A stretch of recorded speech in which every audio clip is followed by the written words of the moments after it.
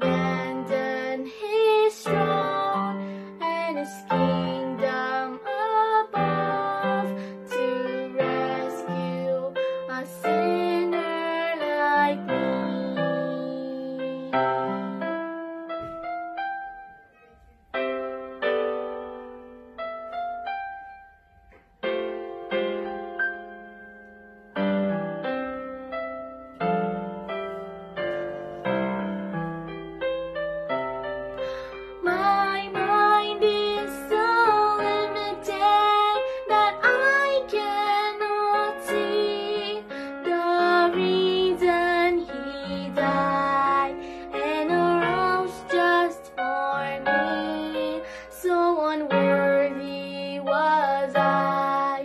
that he gave way.